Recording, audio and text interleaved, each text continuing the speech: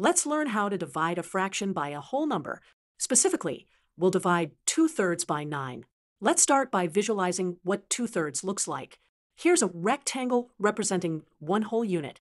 If we divide it into three equal parts and shade in two of those parts, we get 2 thirds. Now, when we divide by 9, we're essentially asking, if we split 2 thirds into 9 equal parts, how big is each part? To do this division, we can use this rule. When dividing by a whole number, we can rewrite it as a fraction with denominator 1, and then multiply by its reciprocal. Let's see what this looks like visually. First, we'll divide our 2 thirds into 9 equal vertical sections. Each of these sections represents 1 ninth of 2 thirds, which is our answer. Now, let's solve this algebraically. When we multiply 2 thirds by 1 ninth, we multiply the numerators together and denominators together. 2 times 1 is 2, and 3 times 9 is 27. So our final answer is 2 27ths.